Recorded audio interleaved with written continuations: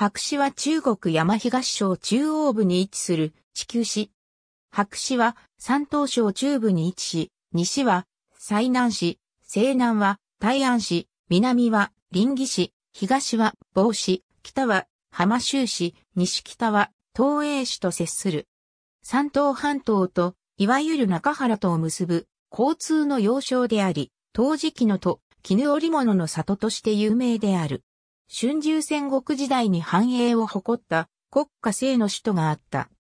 2014年、四季に白で蹴鞠が流行したとあることから、国際サッカー連盟が白紙の聖文化博物院に送った中国はサッカー発祥の地とする認定証が物議を醸して注目された。五四活区、三県を管轄する。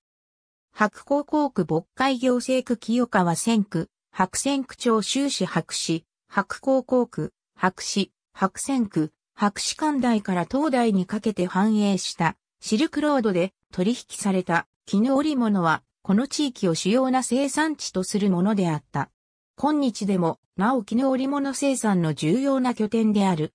近代以降は山東省を超えて全国規模で見ても有数の工業都市として発展してきた。